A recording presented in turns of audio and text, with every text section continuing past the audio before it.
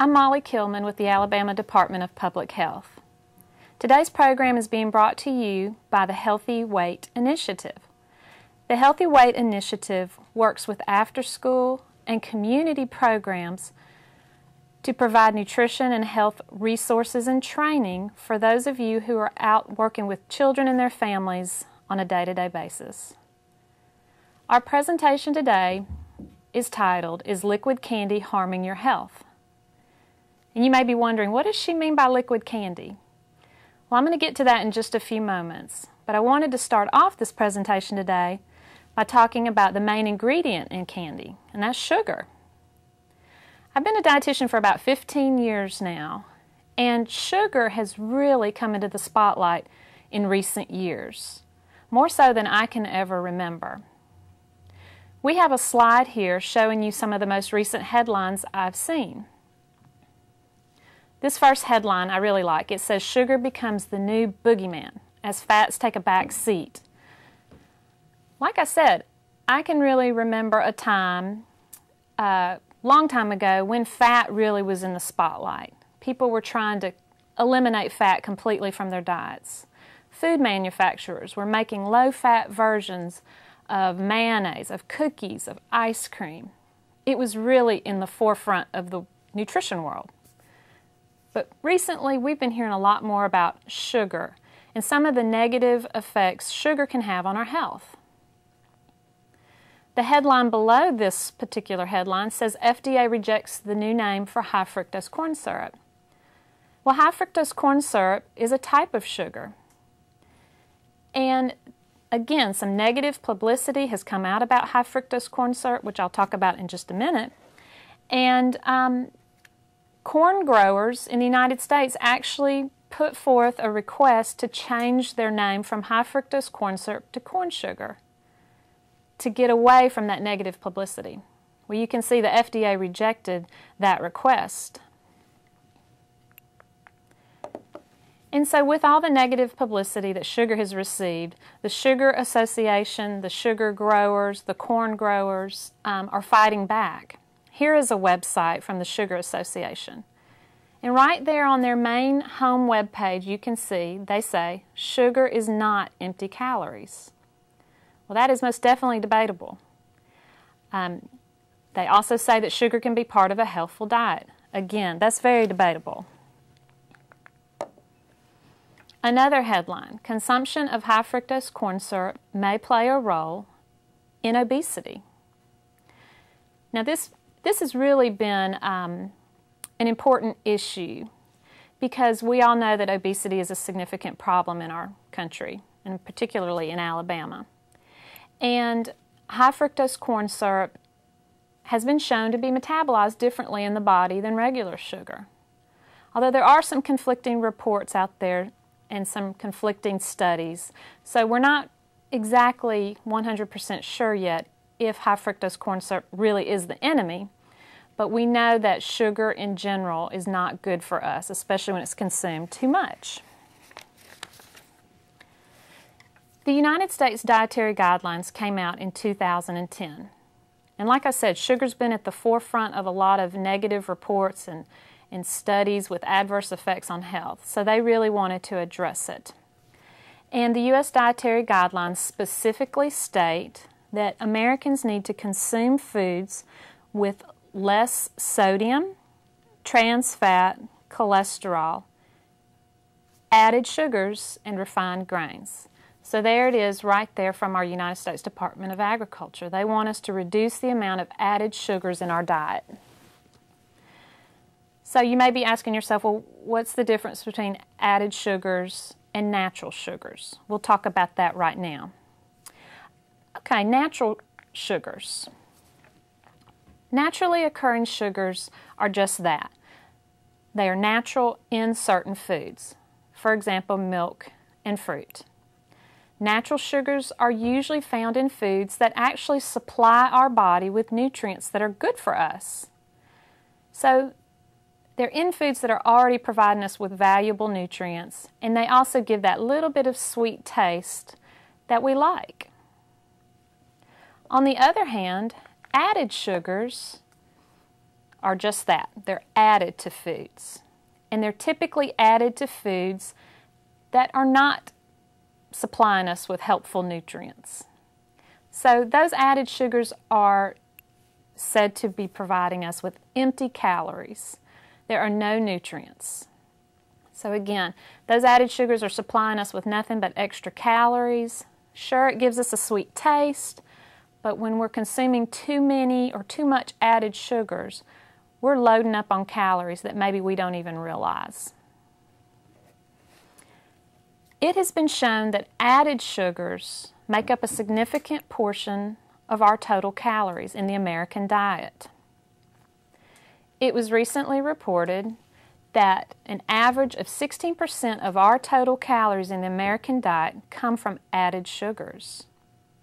That's a pretty significant number, I think, and we need to work together to bring these numbers down and make people more aware about how much calories are coming from these added sugars and what foods they're in. As far as recommendations for sugar, it has been suggested by the American Heart Association that we consume no more than six to nine teaspoons a day of added sugar. Okay, that equival- equivalates to about 100 to 150 calories of added sugar a day. Now, we're currently consuming about 22 teaspoons a day. And some people may actually be consuming even more than that. We're getting nearly 400 calories a day from added sugars alone. That's significant. Unfortunately, our teens are consuming even more than that. So, again, it's a very important topic to address. Children, they only need about three to four teaspoons a day. Again, that's a very small amount, and children and teens and adults are consuming way more than that.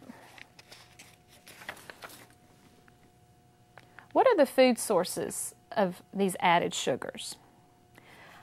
Again, the U.S. Dietary Guidelines came out in 2010. They provided us with this nice pie graph showing us where most of the added sugars were coming from in the American diet. All right, on the right hand side, you can see that large green piece of the pie is made up of soda, energy drinks, and sports drinks, 36%. Also, down towards the bottom, you can see where fruit drinks are making up almost 11% of the added sugars in our diet. And then off to the left, there is a tiny slice for tea, 3.5%. I have a feeling that down here in the south, that, that piece of the pie may actually be a little bit larger. But if you take those three statistics and put them together, you'll find that nearly half of the added sugars in our diet are coming from sweetened beverages.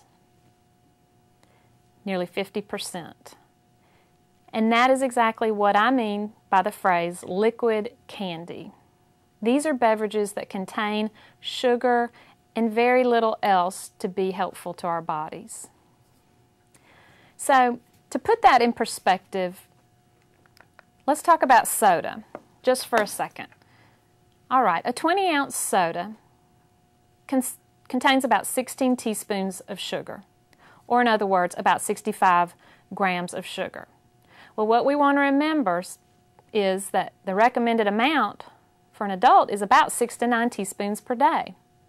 And just one 20 ounce soda is giving you 16 teaspoons.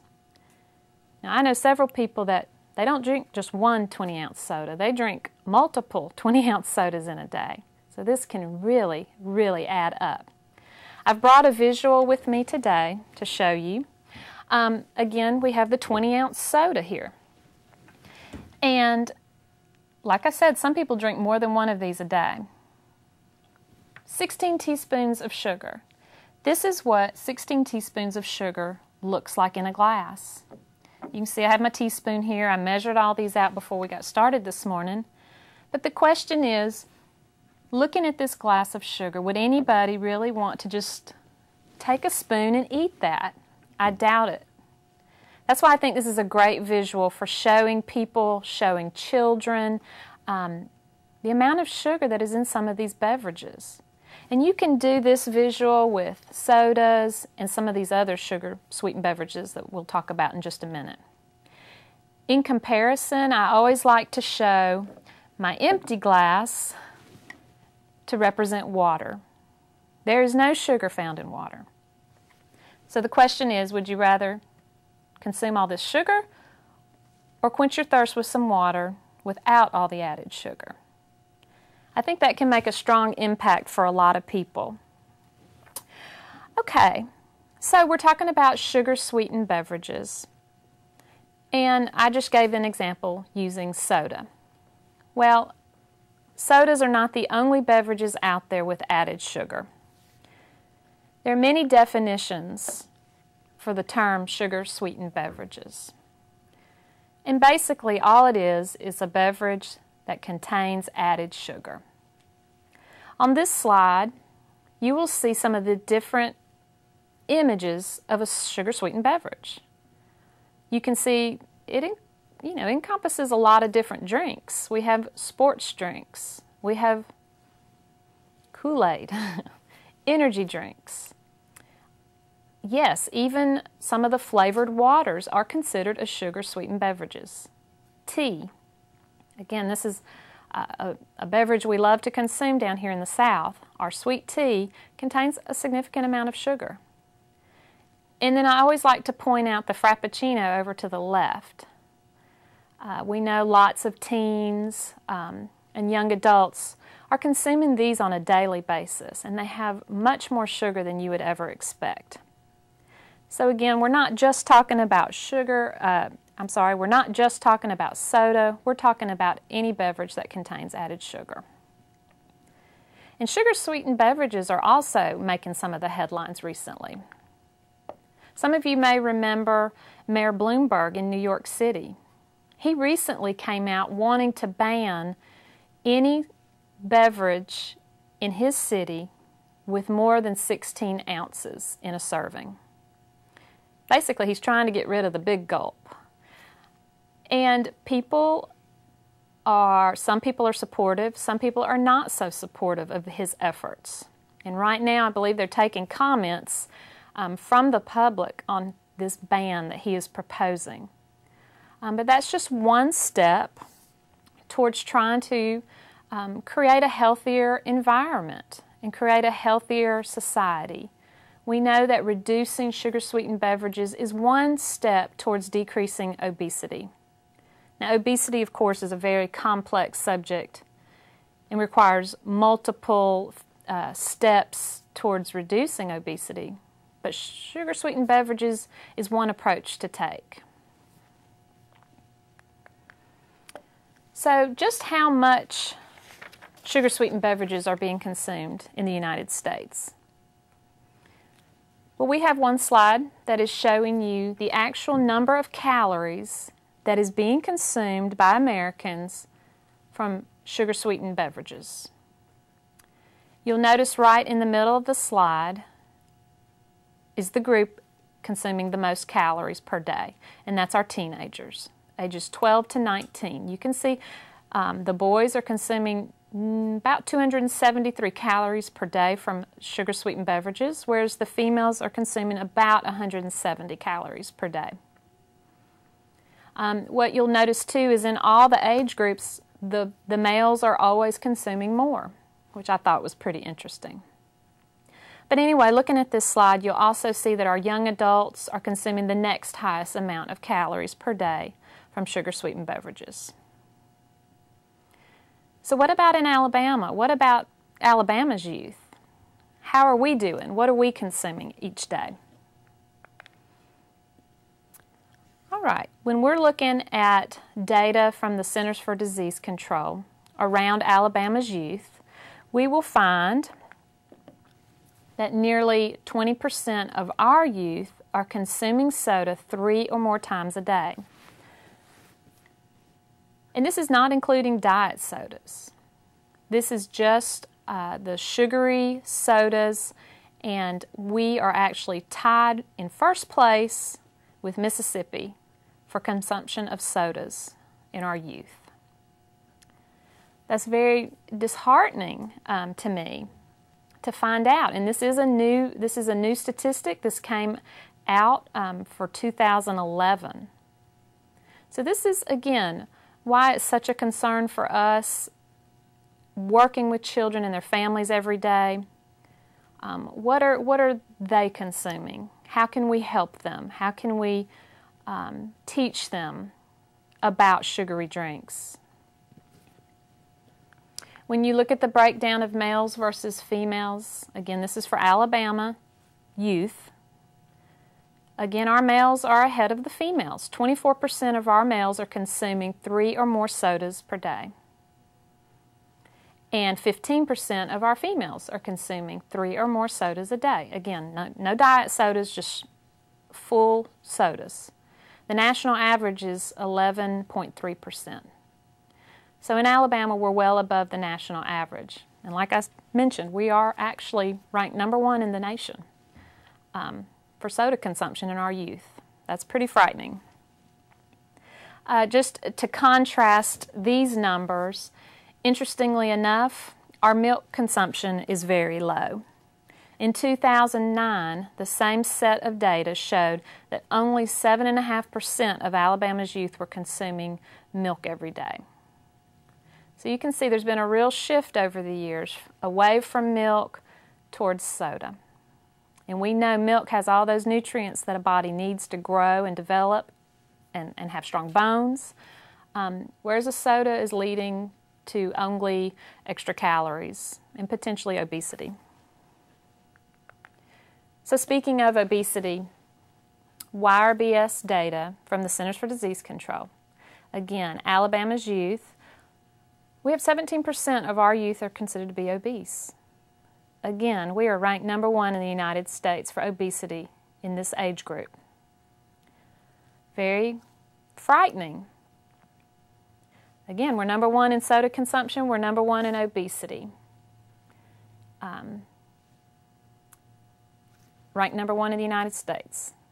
Our adults are also um, very much high up on the rankings. 33% of our adults are considered to be obese, and we're ranked number two in the United States. So, again, this is a real issue for our state, something that needs to be addressed. So, like I said earlier, decreasing or limiting the amount of sugary drinks in your diet every day may be a step towards reducing obesity. The American Academy of Pediatrics has also recently taken up this issue and they have released some statements, some very uh, serious position statements on their take on sugary drinks. And I'm going to show you just a few of the statements that I found on their website. And I'm going to I'm going to actually read this slide out to you so that we can hear it word for word from the American Academy of Pediatrics. Sports drinks have a limited function for pediatric athletes. They should be ingested when there is need for rapid replenishment of carbohydrates and or electrolytes in combination with water during prolonged vigorous physical activity. Now this is a very interesting statement. First of all, let's talk about what a pediatric athlete is. Um, if your child or a child you're working with has been out in the neighborhood playing kickball with the neighborhood kids, that's really not considered a pediatric athlete.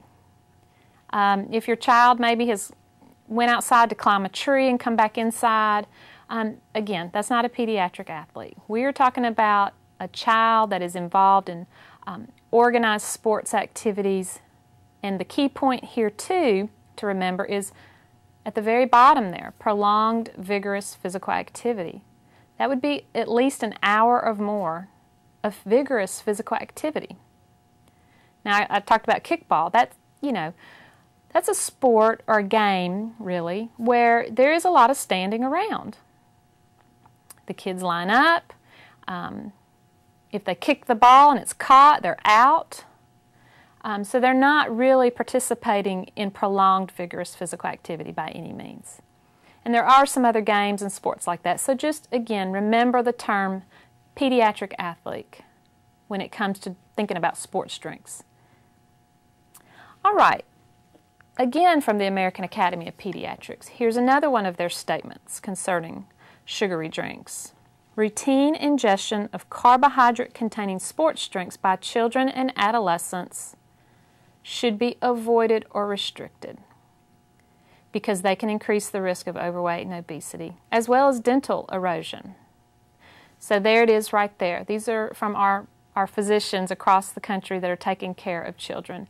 They are suggesting that you avoid and or restrict sports drinks for children. Energy drinks. We do consider this a sugary, a sugar sweetened beverage.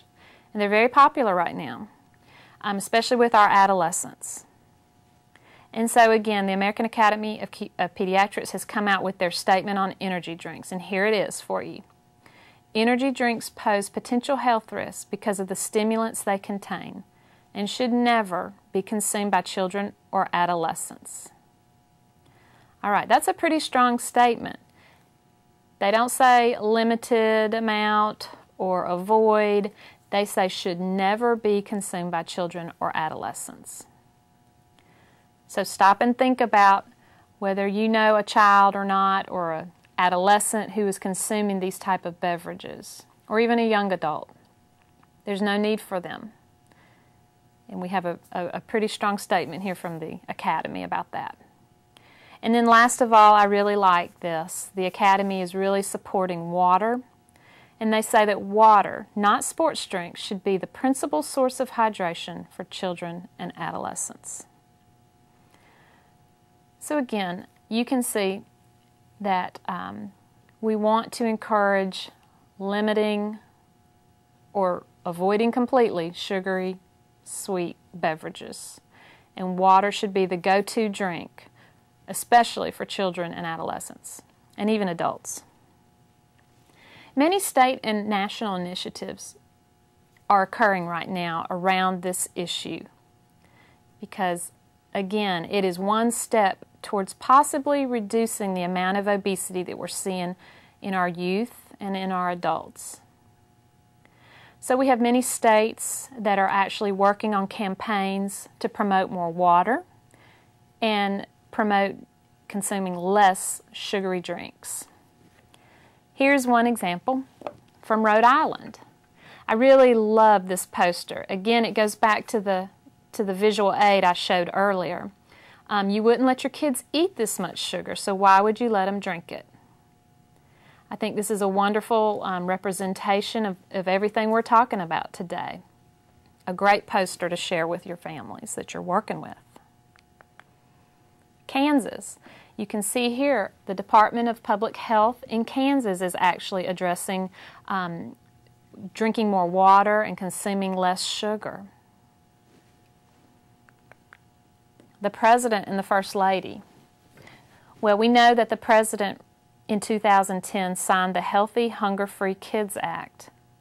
And nutrition is a big focus of the President and the First Lady. Um, but in the, the Healthy Hunger Free Kids Act, they're definitely encouraging more water in the schools. They're encouraging a lot of different guidelines for the schools um, that will take place this fall if they haven't already at your school. Um, but water is definitely one of those um, points that they're addressing. They want water to be accessible to the students during meals, free water. Um, they want it to be right there where the kids are eating their lunch so that they can have access to it at any time. The First Lady also has several initiatives around her, her Let's Move campaign. And again, water is one of her key points in all of her initiative. Let's Move Child Care.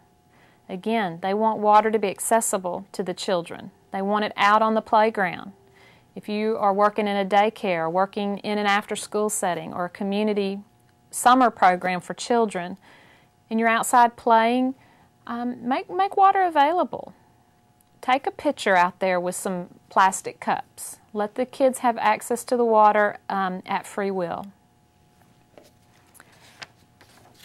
So, the Alabama Department of Public Health is also working to get the message out about drinking more water and fewer sweetened beverages. We have created some materials um, to, to provide to anyone who is interested in them um, about drinking a more healthful beverage. We've created this particular handout that's really cute and really informative. This is a good one for kids or for younger, um, younger adults. And again, it shows you the differences between consuming a soda versus water, um, showing you the calorie differences, and um, encouraging you to think about your drink and make a better choice. The Alabama Department of Public Health has also created a similar poster or handout um, that can be used for adults, and it's called Think About Your Drinks. Again, it's showing you the different beverages and how much, uh, how many calories are in each one. If you were interested in seeing these posters, they are available on our website at adph.org backslash nutrition. That's adph.org backslash nutrition, and you would click on healthy lifestyles on the left hand side and you'll find these posters there. Or you could always contact me personally. My information will be up at the end of this presentation. You're welcome to, to email me or call me, and we can actually send you some of these posters if you would like some to hang up in your classroom or in your facility. It's a great reminder about thinking about your drink. Resources available to you.